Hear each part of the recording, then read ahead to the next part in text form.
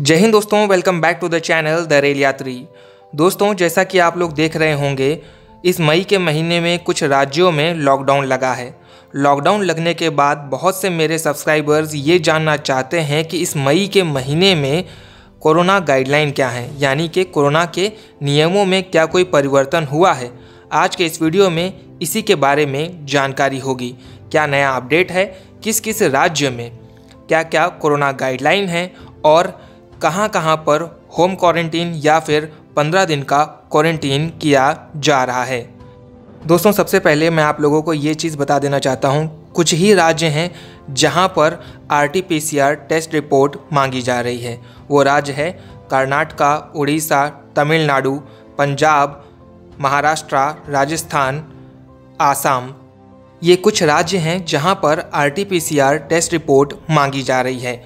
बाकी के राज्यों में R T P C R test report ज़रूरी नहीं है। लेकिन हर राज्य में अलग अलग गाइडलाइन है। कहीं पर सात दिन का क्वारंटीन है तो कहीं पर चौदह दिन का क्वारंटीन है, अगर आपको पॉजिटिव पाया जाता है तो। मैं आपको क्लियर कर देता हूँ, है क्या ये क्वारंटीन वाला पूरा सिस्टम?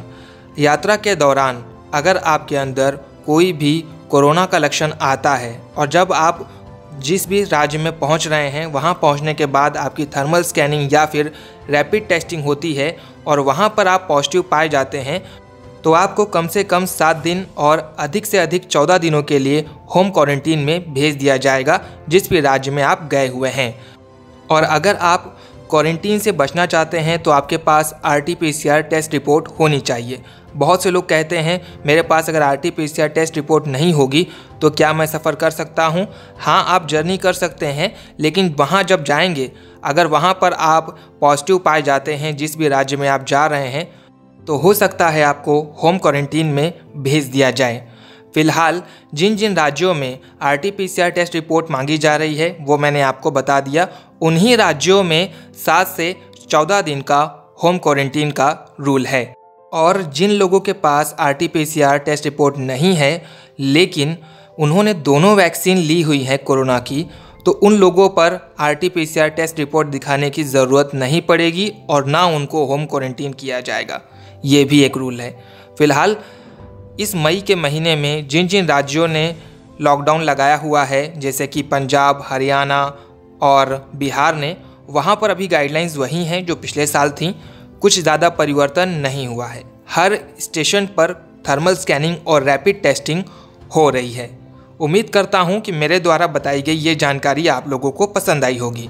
वीडियो पसंद आया हो तो वीडियो को लाइक कर दीजिएगा। इस वीडियो से संबंधित किसी भी प्रकार का कोई भी प्रश्न है तो आप कमेंट करके मुझसे पूछ सकते हैं। मैं आपके सवालों का जवाब दूँगा। अगर आप लोग चाहें तो मुझे इंस्टाग्राम पर भी फॉलो कर सकते हैं। इंस्टाग्राम का लिंक डिस्क्रिप्शन में दिया हुआ है।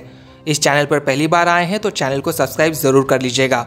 मिलता हूँ आप लोगों से किसी और नए वीडियो में, किसी और नई जानकारी के साथ। Thank you so much for watching the rail Yatri channel and keep supporting